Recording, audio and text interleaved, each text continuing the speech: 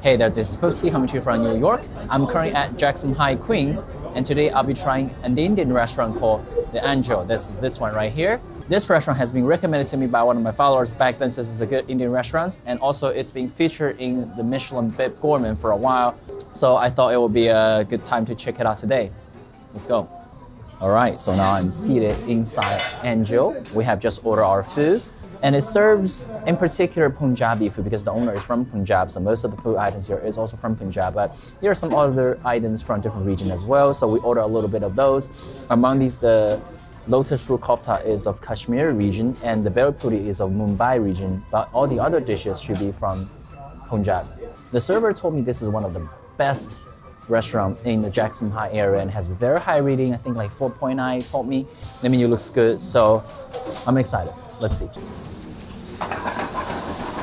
Oh, look at that fire. Ooh.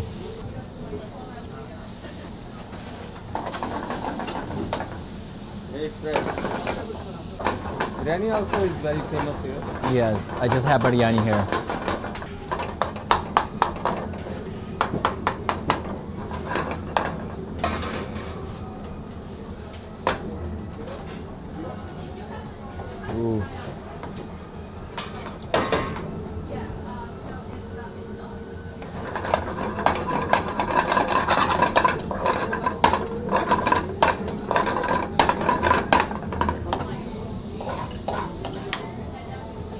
All right, so first off, I got this complimentary little side dish. This is called papadam. It is a traditional Indian snack made with gram flour, so like chickpea flour that is fried to crisp.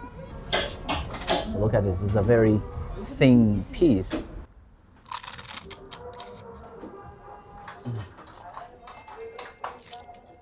Uh, as you can tell, this is very crispy and also very light, but this is at the same time seasoned.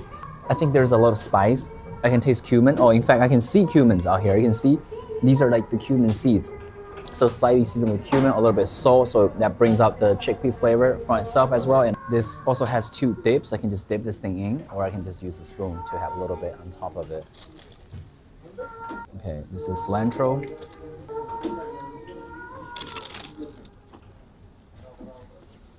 Sort of like a cilantro chutney with cilantro, a hint of mint inside. Also, there's a spicy one. Oh, thank you. Oh, that looks good. Don't touch the pan, it's too hot, okay? Okay. All right. Thank you. All right. This is with the hot sauce.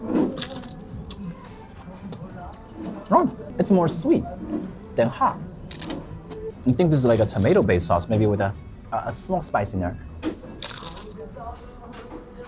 Oh, it's a cool snack. Mm, good. All right. Next up, we have this one. It's called Dahi Patata Puri. So dahi is yogurt, patata is potato, puri is this thing, this little pocket shell made with unleavened bread. I had this item before, but I really love it, so I want to have it again. And also, this item is recommended. Yeah, look at this pocket. It has yogurts inside and potato, chickpea, a bunch of other things, full of liquid. So I have to eat this in one bite. I have learned from my experience before.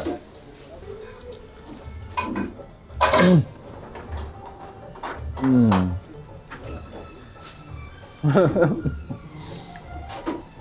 That is flavor explosion. The shell is still crispy, and inside you have that the mixture of chutney and yogurt, slightly sweet, slightly minty, slightly sour, slightly spicy, with all the masala flavor. This is like a roller coaster explosion in your mouth. Like I love this thing. Or let me get another one. Right, look at this it's topped with this this thing on top. This is called sev, these little fried noodles, and this shell itself is called puri, which is unleavened bread. And inside there is like chickpea, there's potato, there's yogurt, there's chutney, tamarind sauce, everything inside. So that's why you have the flavor explosion. One bite.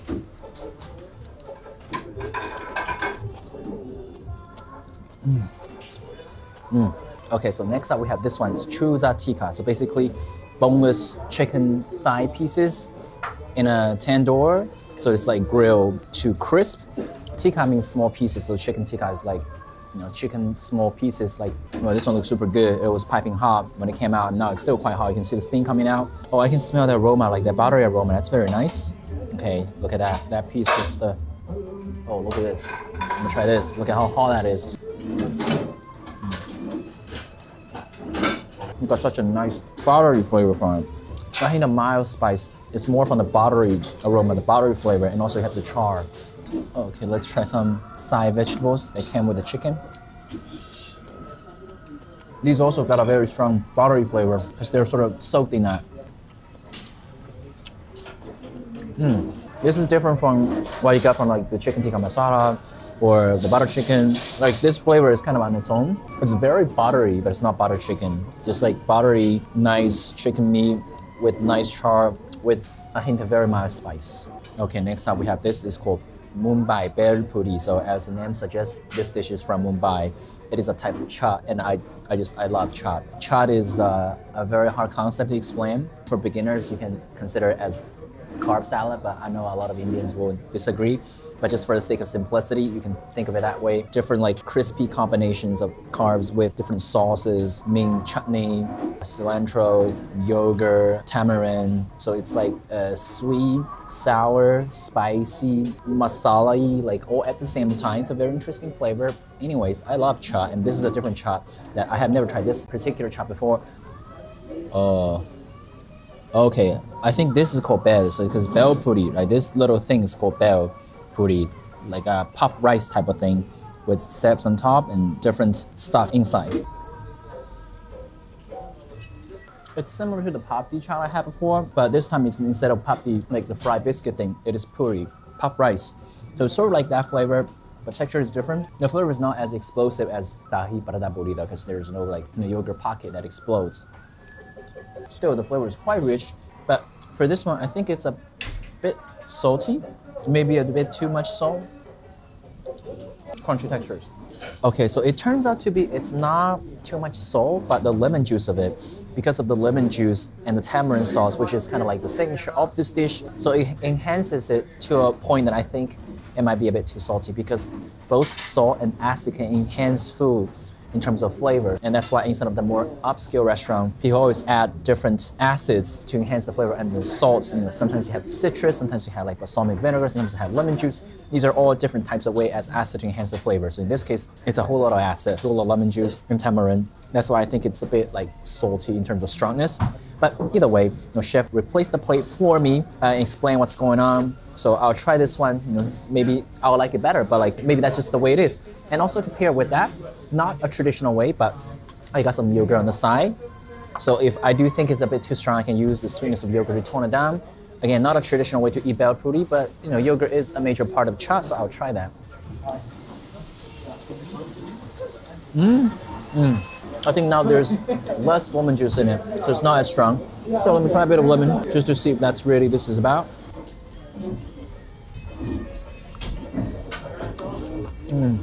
Overall, I still think this place is better. Crispy, at the same time very refreshing. Then yogurt on the side, just gonna try a little bit, just to see if I can get, uh, you know, almost like a dahi patata puri type of vibe, but for bhel puri. Mix it up to tone it down a little bit. Much better. Maybe because I just love yogurt, but this does provide like another level of you know sweetness and a little sourness. It's pretty good on its own, but adding that yogurt just gets you that extra kick. Before moving on to main course, I have this Punjabi lassi, so it's a type of lassi. I usually have mango lassi, but this time I want to try something different. I never tried this one before.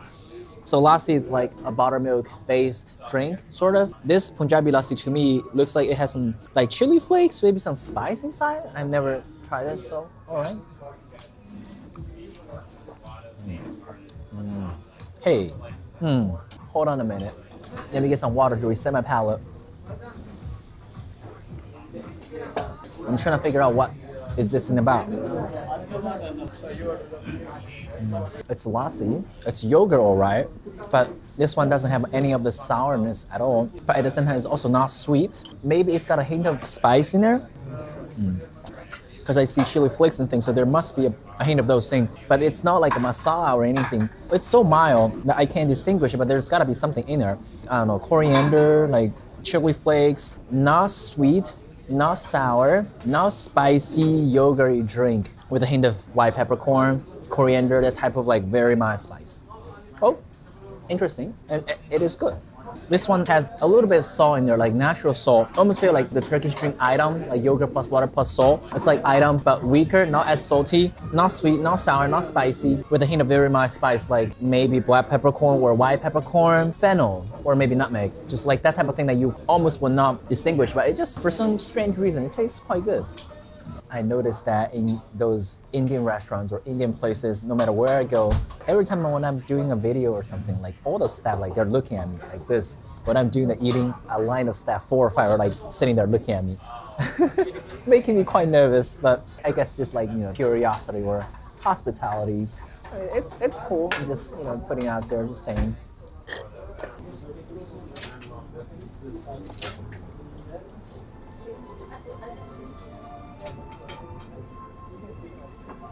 Oh. Oh, I can smell it.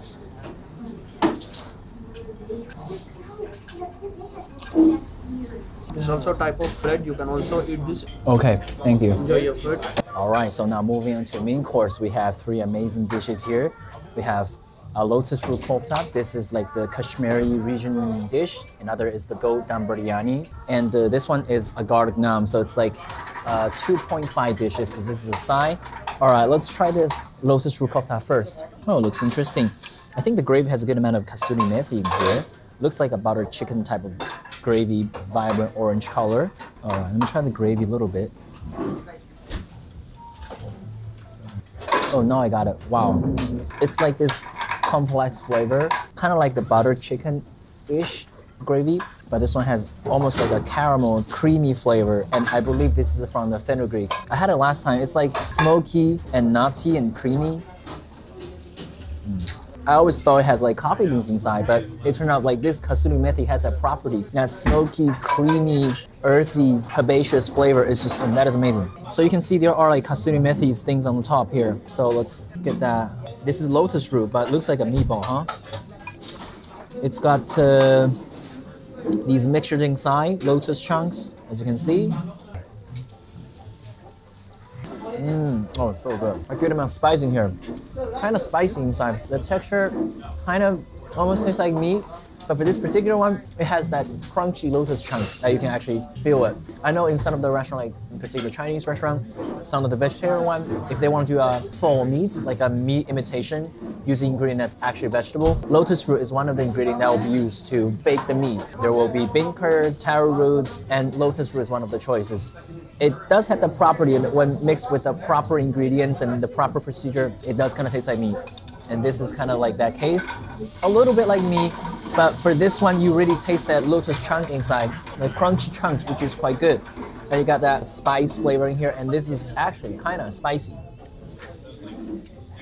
Very hearty. Mm, I like this. Also, it has rice. This is basmati rice. I want to eat the gravy with the rice. Always eat the gravy with the rice. That carb plus that cream. Mm. Okay, moving on, I have this garlic naan here, looking very good. Just look at how beautiful that is, that char with, um, I think it's scallion. Buttery with the char. Mm. Oh, oh, it's really nice garlicky flavor here. Crispy.